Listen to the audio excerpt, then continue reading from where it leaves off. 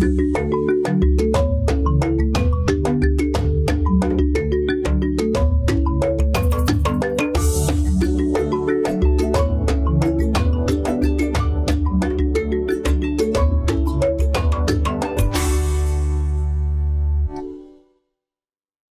Marie-Paul. Bonjour madame. Pourquoi tout le monde aime m'appeler madame dans l'émission C'est Rwanda, hein? Grâce, c'est très bien. Grâce, ça va aller. Merci d'être là. Merci d'avoir accepté. Je suis déjà très émue euh, à, à, l'avance parce que euh, mon équipe m'a m'a parlé un tout petit peu de ton histoire. J'ai préféré ne pas en savoir plus pour découvrir en même temps que tout le monde euh, ce que tu as vécu. En tout cas, vraiment, je sais que ça, ça demande beaucoup de courage d'être là aujourd'hui et je te remercie pour ça. Merci. Est-ce que tu peux me raconter? Bon. Et au départ, tout allait si bien. Il s'occupait de la maison, mm -hmm. des enfants, il s'occupait de tout. Jusqu'à ce que au bout de quelques années, quand mon premier garçon a commencé à faire la, euh, la classe de quatrième, mm -hmm. il a commencé à découcher. Ok. Il a commencé à rentrer tard. Il rentrait à 2 heures, 3 heures du matin. Et quand je lui demande qu'est-ce qui se passe, pourquoi ce changement subi de contrôle, il me dit il y a des jours qu'il il finit le travail, il est en train de papoter avec ses amis, boire, mais il voit pas le temps passer. Ok. Et du coup, il rentre tard. Donc, il met ça sur le coup des causeries. Oui, il n'y a rien de particulier. On va dire c'est l'ambiance avec ses amis. Justement. Ok. Bon, ça se répétait mm -hmm. plusieurs fois. Et quand ça se répétait, un jour, je suis allée, qu'il rentrait tard, j'ai dit que je n'ouvre pas la porte. Il j'ai ouvert, et ce soir-là, il a battu sur moi. Et j'ai vraiment beaucoup pleuré. Et puis, je me suis calmée, j'ai dit, ah, peut-être c'est le foyer, peut-être c'est une première fois, et ça va pas se répéter. Mm -hmm. Quand mon premier fils a, est allé en, a, fait, a, commencé à faire la classe de troisième, puis il, a, il était en quatrième, il a passé pour la classe de troisième. Mm -hmm. Il a échoué le BPC la première année. Mm -hmm. Il a échoué le BPC la deuxième année. La troisième année, son père a dit qu'il ne paye plus sa pension. Mais l'enfant devait faire comment? Il devait rester à la maison Je ne sais pas, madame. Puisque déjà, moi, j'étais une femme au foyer, je ne travaillais pas. Je Mais pourquoi pas tu ne travaillais pas? Il ne travaillait pas parce qu'il ne voulait pas que je sorte. Ah. Oui, oui. On me posait le boulot de gauche à droite, mais il ne voulait pas que je sorte. Reste à la maison. Ceci va, tu, tel, tu vas rentrer tard, je ne veux pas, machin, truc. Bon. Et comme au départ, il s'occupait bien, je me suis, suis restée au foyer, j'étais femme au foyer, je m'occupais de la maison. Et, tout. et tes enfants, toi, tu t'épanouissais comme Justement, ça? Justement, oui, je ne Ok. sortais pas. Je n'étais pas financièrement indépendante, oui. Je pas du tout. Bon, quand il a commencé à dire qu'il ne paye plus la pension de mon fils, j'ai commencé à pleurer, je lui ai supplié que s'il te plaît, L'enfant, il faut payer la pension parce que si tu laisses un garçon au quartier, il va commencer à avoir la mauvaise compagnie, commencer à marcher partout. Mm -hmm. Il est resté catégorique, il a dit qu'il ne paye pas. Et quand il paye pas, là, j'ai vu, il avait changé de comportement. Il dormait parfois à la maison, parfois il dormait dehors, il faisait souvent deux jours dehors, trois jours dehors. Trois jours Justement. D'affilée D'affilée. Il faisait trois jours d'affilée dehors. Parfois il rentre. Je me suis dit, mais qu'est-ce qui se passe? Je regarde mon enfant, je dis, moi, je ne peux pas laisser l'enfant sur le quartier. Je suis, j'ai fait recours, je suis allée vers ma grande soeur. Ma grande soeur m'a dit, fais un CV. Tu viens avec, je vais, je vais donner ça à un ami. C'est comme ça que je suis allée faire mon CV. Il a donné un ami, puisque je n'ai même pas trop prolongé dans les études. -hmm. Oui. Et j'ai fait mon CV, on m'a trouvé un petit poste dans une boulangerie, j'étais caissière. Ok. C'est comme ça que j'ai commencé à travailler. J'ai pu payer la pension de mon fils. Mais quand tu as travaillé là, il ne s'est pas fâché comme il voulait que tu restes à la maison. Pour lui, ça ne lui disait plus rien, puisque déjà il partait, il revenait, ça ne lui disait plus ah, rien. donc, il, il, en fait, il ne vous gérait même plus il, dans la maison. Il ne gérait pas. Parce que quand j'ai commencé le travail, un jour, il est rentré, votre bébé où? Elle est partie au travail. Ah, tu as commencé à dire que mais, je ne travaille pas, maintenant, mon enfant va comment Tu as dit que je ne paye pas la pension, donc du coup, je suis obligée de travailler. C'est comme ça que j'ai commencé à travailler. J'ai payé la pension de mon fils. Puis, il faisait troisième, il avait passé l'entrée en seconde. Je l'ai mis une fois en seconde. Et j'ai cherché un répétiteur parce que il a échoué le BPC deux fois. Je me suis dit que peut-être il y avait un manquement quelque part. Oui, l'enfant avait des lacunes. Oui, oui. J'ai trouvé donc un répétiteur pour l'enfant. Mm -hmm. Il suivait l'enfant. C'est comme ça que l'enfant a eu son BPC en seconde. Ah, oui. donc l'enfant n'était pas bête, c'était simplement peut-être quelques petites lacunes, un petit manque, quoi. Justement. Ok. L'enfant est allé en première. Quand l'enfant allait en première, sa petite sœur aussi allait en première, mm -hmm. puis ce sont trois. Il a, dit, il, a, il a commencé à dire à la petite soeur que je ne vais pas payer ta pension. Ton mari a encore refusé Oui, il a dit qu'il ne paye pas la pension de, de sa fille. puisque j'ai une seule fille unique. Mhm. J'ai deux garçons et une fille. Alors, quand il dit qu'il ne paye pas la pension de sa fille, sa fille lui dit Stop, papa. Ce que tu es en train de vouloir m'envoyer faire la couture, la coiffure, mais je ne veux pas. Même si tu m'envoies faire une formation, c'est après mon bac. Pas les choses que tu fais avec Bondon là. Non, ce que je vais dire à tonton tel, je vais appeler tonton tel. Elle a du caractère, Oui, elle a hein, ta petite. Ma fille a du caractère. Elle a dit comme ça, son père a dit, ok, j'ai compris. Donc, l'année là, il a payé seulement pour la fille. Les deux garçons, il a laissé à ma charge. Ah, Oui. Donc, non seulement il a pu payer pour le premier, mais même le dernier. le dernier. Oui. Donc, pour lui, c'était déjà, c'est comme ça qu'il s'est débarrassé au fur et à mesure. C'est ma fille qui, a- qui a imposé que donc, tu es obligé de payer ma pension, sinon je vais appeler tonton tel, je vais appeler. je vais- Mais on sait aussi que les filles et leur papa, il y a souvent une relation là. Justement. Le- les garçons ont peur de parler à leur père. Chez moi, les garçons ne parlent pas à leur père. Ah. Oui. Quand le père parle, personne de tous. Mhm. Mais c'est la fille qui a souvent le courage de causer avec son père. Mhm. Oui. Donc, même quand les, enfants veulent que les garçons veulent un truc, c'est vers maman. Maman, on a besoin de telle chose. Il faut que c'est moi qui aille dire à leur père, oh, l'enfant veut telle chose. Moi, je ai dit, vous êtes des garçons, il faut causer avec votre père, mais ils ont. Ils ont peur, ils ont un peu. justement. Ok. Alors, c'est comme ça qu'ils refusent de payer la pension des deux garçons. Je suis en train de travailler.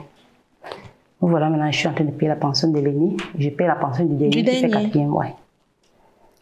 Ce qui me fait encore plus mal, c'est que même le dernier que je paye sa pension, il ne part pas à l'école. Hmm. Je paye la pension d'un enfant. Il dribble les cours. Il reste chez les voisins. Oh là Tu lui donnes l'argent d'aller finir sa pension. Il peut manger l'argent. Il bouffe l'argent, il ne paye même pas la Il ne pension. paye pas la pension. Il bouffe l'argent. Oh. Dernièrement, il était en train de composer. Ai dit que tu ne pars pas à l'école. Il m'a dit que je vais aller écrire quoi. Il manquait l'école. Il ne partait plus à l'école. J'étais là comme ça. Je suis entrée dans une dépression. Je ne sais pas. J'ai commencé à stresser. J'ai commencé à stresser.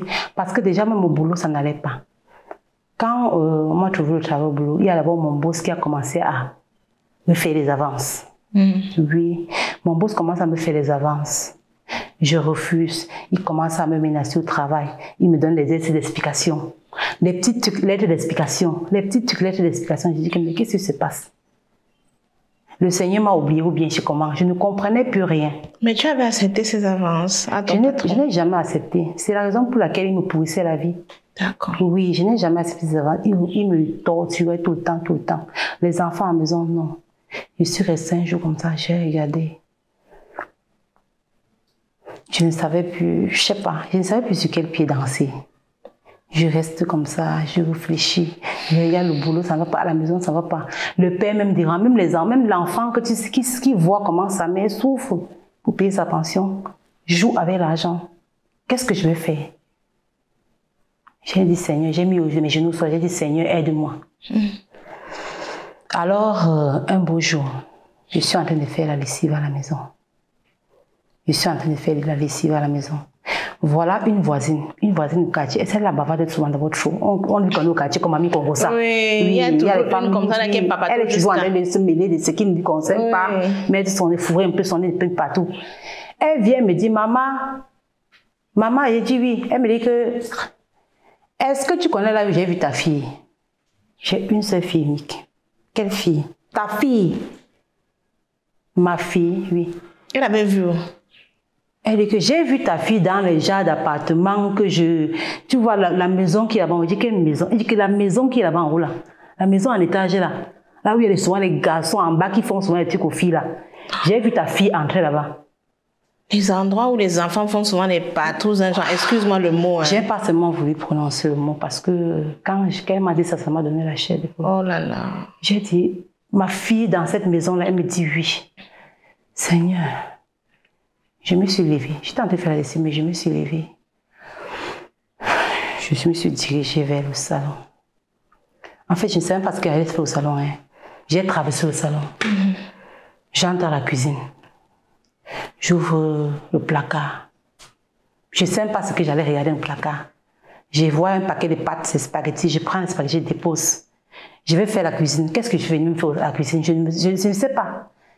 Quand je regarde à côté, je vois une boîte. Je vois un sachet. Les remèdes des souris là, non. Comme c'est souvent multicolore, les petits grains là. Je vois ça à côté. Je prends le remède. J'ai dit, mais qu'est-ce qui se passe dans ma vie?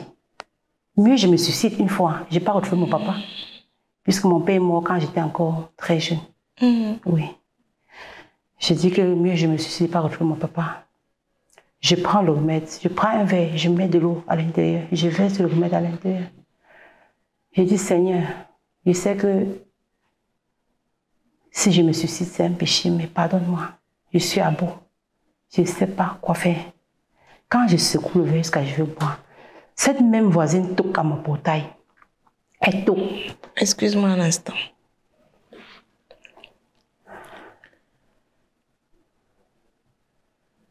Tu as voulu te suicider? Oui. Donc j'étais vraiment désespérée. J'étais désespérée. J'étais là, le travail ne donne pas.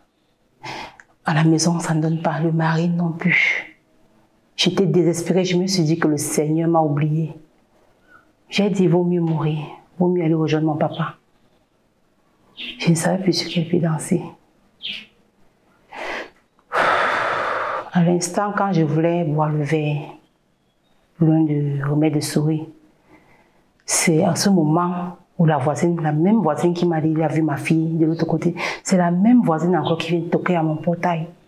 Elle toque fort. Elle toque, elle insiste. Elle me dit, je suis ici avec ta fille. Quand j'entends, je suis ici avec ta fille. Parce que quand j'ai compris que ma fille était là-bas, je n'avais même plus de force. Même pour aller demander à l'enfant, tu fais quoi là-bas? Je n'avais plus de force. Donc, pour moi, c'était... Donc, je me disais, je fais quoi dans ce monde? Qu'est-ce que je n'ai pas appris aux enfants? Est-ce que j'ai... J'ai eu des manquements. Qu'est-ce que j'ai mal fait? Qu'est-ce que j'ai toujours mal ça fait? que- Je me suis posé Oh là là. mille et une questions. Qu'est-ce que j'ai qu'est-ce que j'ai mal fait, Seigneur? Je n'ai même pas eu la force d'aller toquer là, là où on m'a dit qu'on avait ma fille. Je- donc, je ne sais même pas ce qui m'est arrivé à, à ce moment précis-là. Tout pour moi, c'était de me suicider. C'est à ce moment que la voisine vient toquer. Elle insiste. Elle me dit, je suis ta fille. Quand elle m'a dit, je suis avec ta fille, je me suis encore saisie. J'ai poussé vers les côtés. Je suis allée vers le salon. J'ai ouvert la porte. J'ai vu, elle était vraiment avec ma fille. Elle était même en train de gronder l'enfant. elle, dit, elle dit, mais comment tu peux faire ça à ta mère? Tu es sa seule fille. Tout son espoir repose sur toi. Comment tu peux faire ça à ta mère?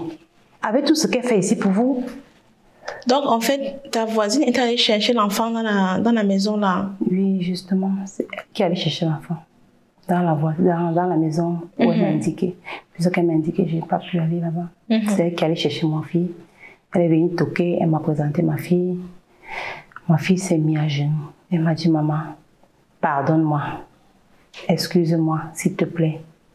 Excuse-moi, maman. Je ne vais plus jamais répéter ça. C'est comme ça que j'ai fondu en larmes. J'ai embrassé ma fille.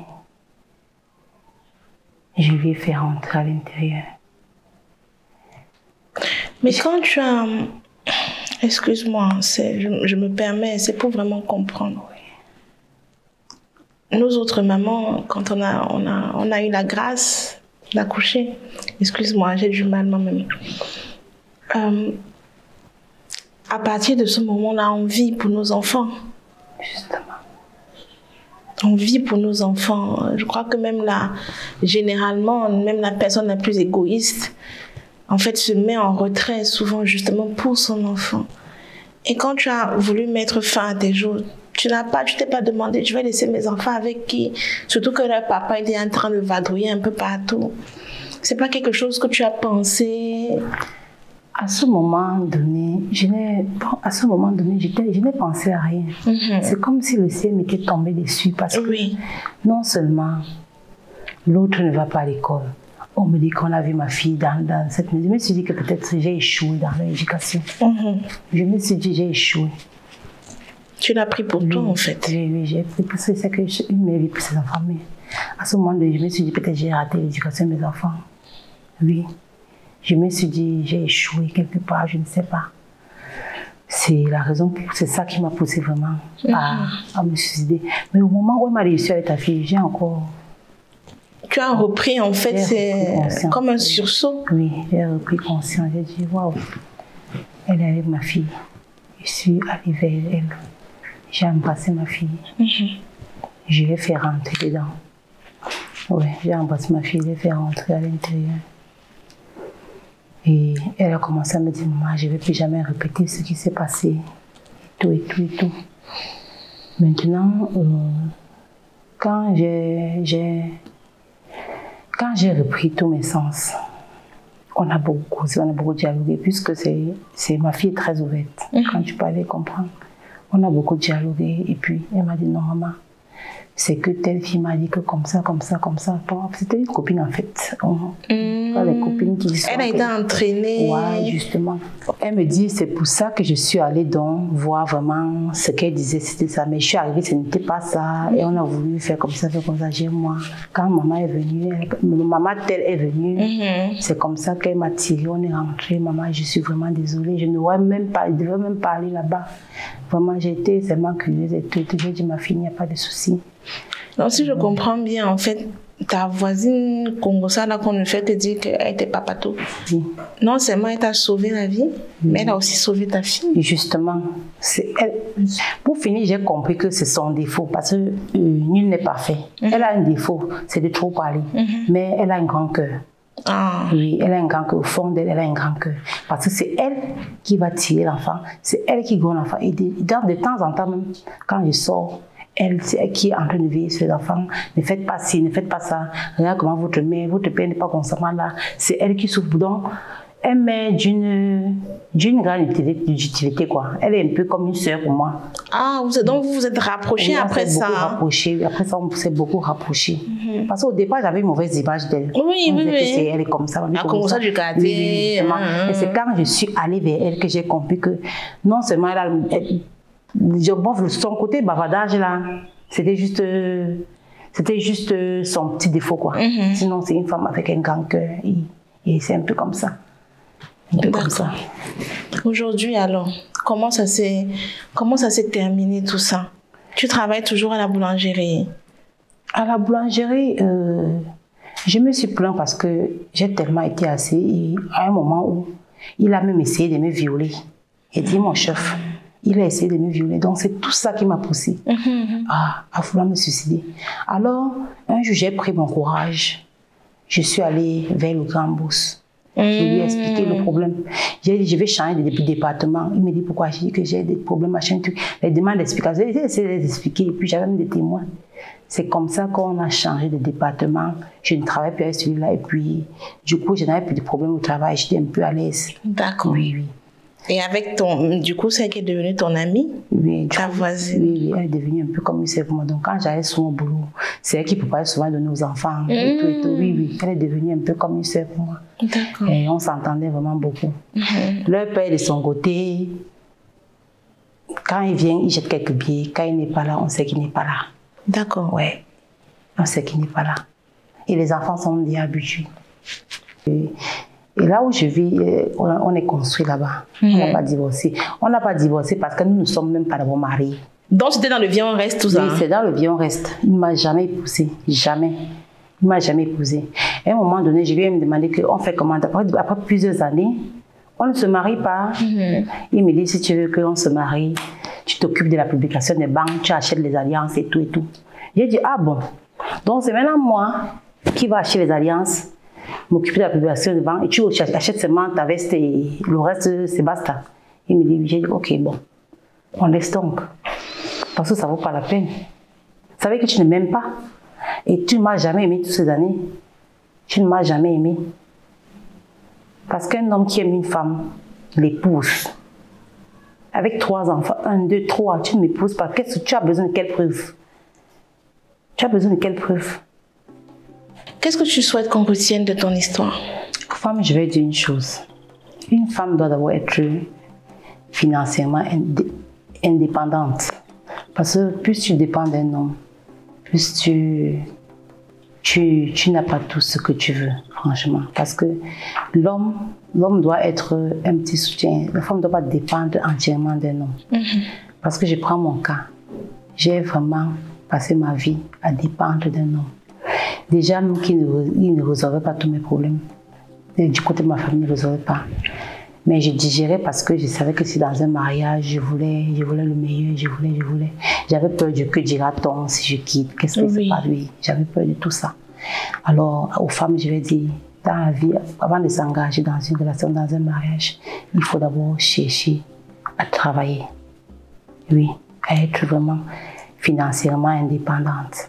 Moi, je me permettrais peut-être d'ajouter aussi que la dépression n'est pas une question de blanc. Parce que souvent, on aime dire que non, c'est des affaires des blancs. Non, non, non, non, non, non. C'est pas des affaires des blancs. Hein. Et dit, moi, j'étais à bout, j'étais prêt à me suicider. J'étais tellement, je suis entrée dans une dépression où je ne savais pas. Je ne savais, quand je me lève pour aller, je ne savais, je savais pas où j'allais. Je pouvais m'aller me jeter du haut d'une falaise comme ça, comme une blague. Donc, euh, c'est pas une histoire de blanc. Bien sûr. On vit ça ici en Afrique. Bien sûr. Nous vivons ça ici. C'est pas une histoire de blanc. Ça se vit même ici. Sauf que les gens, beaucoup n'aiment pas briser le silence. Oui. La plupart restent fermés. Mhm. Tu vas voir quelqu'un s'est suicidé. On n'en parle pas. Aujourd'hui, j'ai décidé de briser le silence, d'en parler. Et quand je parle, je. Ça te libère Ça me libère un peu, en fait. Merci Marie-Paul d'être venue partager ton témoignage. Vraiment, merci d'avoir accepté d'ouvrir ton cœur. Euh, ton vécu va édifier plus d'une personne, j'en suis certaine. Merci. Merci à vous d'avoir été parmi nous et je vous dis à très très vite pour un nouvel épisode de Bantu Talks.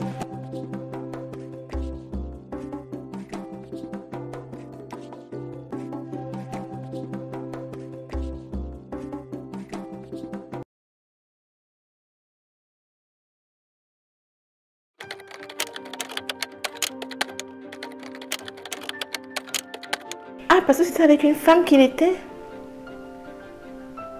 Mais il est gay.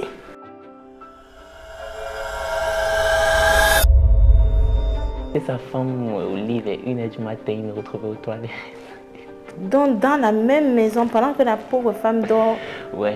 vous vous retrouvez dans la salle de bain pour faire vos affaires.